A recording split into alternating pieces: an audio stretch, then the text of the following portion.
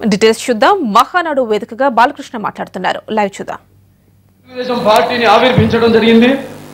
మరి ఆనాడు ఆయన పార్టీ స్థాపించిన తొమ్మిది నెలలకే ముఖ్యమంత్రి పీఠాన్ని అధిష్ఠించి ఆనాడు యొక్క అధికారంలో ఉన్న పదవులకు దూరంగా ఉన్న బడుగు బీన బడుగు బలిగిన వర్గాలు వెనకబడిన కులాలు అలాగే మైనారిటీ అందరికీ చేయూతనిచ్చి అధికార పీఠం మీద కూర్చోబెట్టిన మహానుభావుడు నందమూరి తారక రామారావు గారు.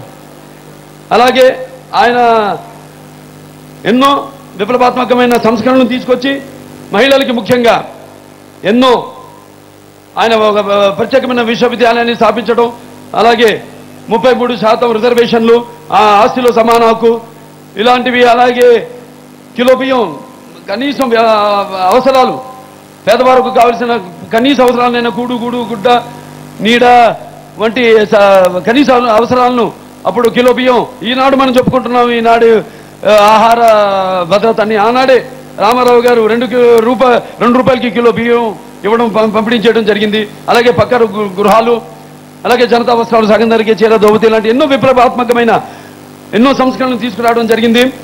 అలాగే కేవలం మన రాష్ట్రంలోనే కాకుండా జాతీయ రాజకీయాల్లో కూడా ఎంతో ప్రభావం చూపించింది. ఆయన ఒక వ్యక్తి ఆయన ఒక ఎన్డీఎఫ్ నేషనల్ ఫ్రంట్గా ఉండడం ఏంటి?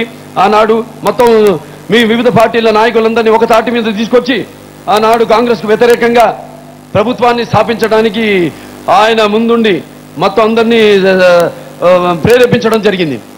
అలాగే మరి ఈ యొక్క నదుల విషయంలో అయితేనేమి తెలుగు గంగ.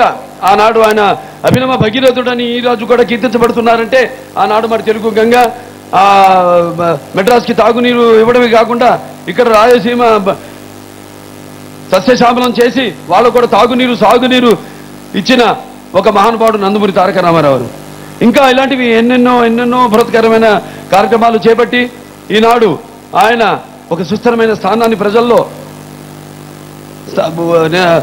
వాళ్ళ గుండెల్లో గూడు కట్టుకున్నారంటే అది మరి ఆయన ఒక శక్తి ఆయన ఒక ఆవేశం ఆనాడు మరి ఆయన స్థాపించిన తెలుగుదేశం పార్టీ ఈనాడు ఈ గడిచిన మొత్తం మనం పదేళ్ళు ముందు మనం అధికారంలో ఉన్నప్పుడు చంద్రబాబు నాయుడు గారు ముఖ్యమంత్రిగా ఉన్నప్పుడు ఆయన ఎన్నో సంస్కరణలు తీసుకొచ్చి మరి నిరుపేదలకు కూడా వారిని ఆర్థికంగా ఆదుకోవడానికి మరి వాళ్ళ పిల్లలకు వాళ్ళ ఇంటికి ముంగి ముంగిటికి విద్యను తీసుకొచ్చి వాళ్ళను కొంత విద్యావంతులను చేసి వాళ్ళను ఆర్థికంగా ఆదుకోవడం జరిగింది.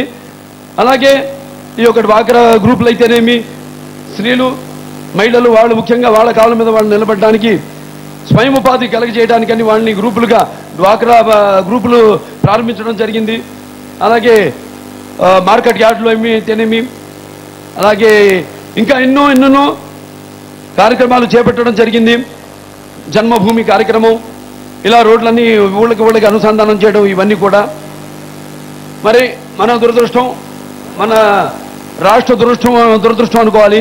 పది సంవత్సరాలు మళ్ళీ మన అధికారం కోల్పోయాము. మరి ఆ పది సంవత్సరాల్లో జరిగిన అవినీతులన్నీ మీకు మనందరికీ తెలిసిందే. ఎలా? ఆనాడు మరి నాన్నగారి యొక్క పుత్రిక హంద్రినివా? దాన్ని ఆనాడు మరి రాయలసీమ కొన్ని భూమి రామ రాయలసీమను సస్యశామలం చేయడం కోసం సాగు తాగునీరు ఇవ్వడం కోసం అని ఆనాడు ఆయన అనుకున్న హంద్రినిమాని మరి ఈ పదేళ్ళలో వాళ్ళు ఎలా ఈ యొక్క జలయజ్ఞాన్ని ధనయజ్ఞంగా మార్చుకున్నారో ఎన్ని వేల కోట్లు సుమారుగా ఎనభై వేల కోట్ల రూపాయలను వాళ్ళు ఎట ఎలా తారుమారు చేశారో అందరికీ తెలిసిందే. మళ్ళీ ఈనాడు ఈ పదేళ్ళ తర్వాత మళ్ళీ తిరిగి తెలుగుదేశం పార్టీ అధికారంలోకి రావడం జరిగింది. ఇంకొక విశేషం ఈ యొక్క మానాడుకు ఒక ప్రత్యేకత ఏమిటంటే మన రాష్ట్రం అంటే మన తెలుగు రాష్ట్రం విభజించబడ్డాక ఆంధ్ర రాష్ట్రం అటు తెలంగాణ రాష్ట్ర తెలంగాణ రాష్ట్రాలుగా.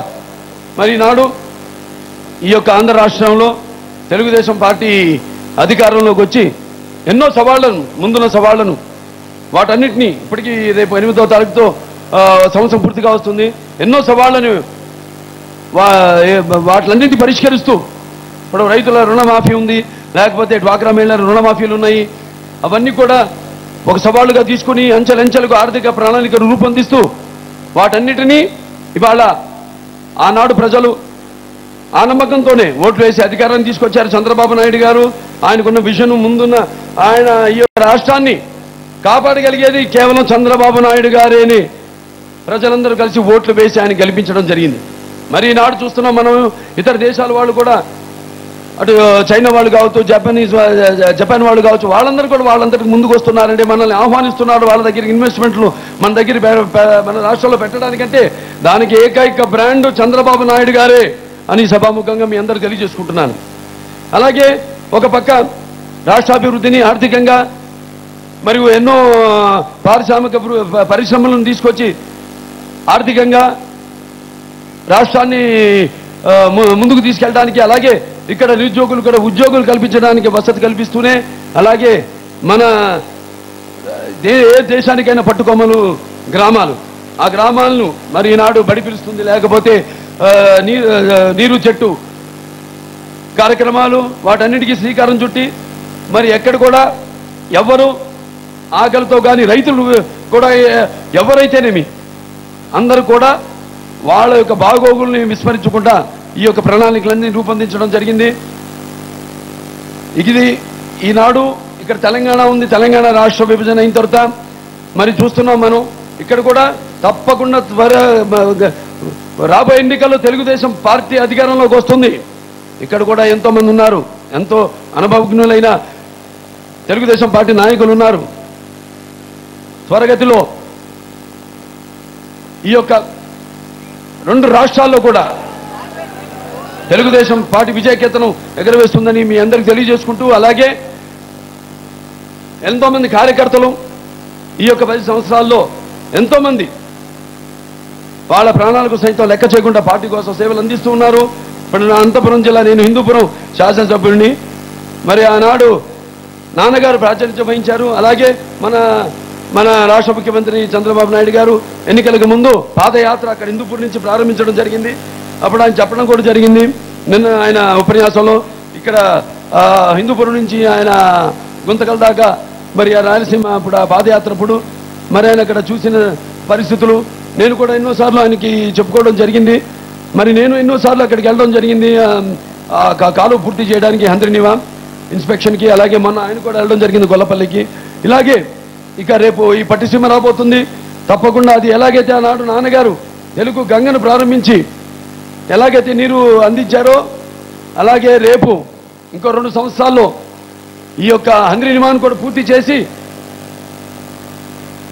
మొత్తం అటు అనంతపురమే కాకుండా చిత్తూరు జిల్లాకు కూడా చివరి ఆయకట్టు వరకు కూడా నీరు అందిస్తారని ఈ సభాముఖంగా నేను తెలియజేసుకుంటూ మరి ఎంతోమంది చెప్పినట్టు కార్యకర్తలు ఎంతోమంది హ- హత్యకు గురయ్యారు ఎంతోమంది మరి వాళ్ళ ఆస్తులను కూడా అమ్ముకొని ఉన్న ఇల్లు పొలాలు అన్ని కూడా అమ్ముకొని ఈ పార్టీ కోసం మొదటి నుంచి వాళ్ళ యొక్క పార్టీ కోసం వాళ్ళ సర్వం ధారపోశారు. మీ అందరికీ ఈ సభాముఖంగా నా తల వంచి మీ అందరికీ ఆ, శిరస్సు వంచి మీకు పాతాభివందనం చేస్తున్నాను.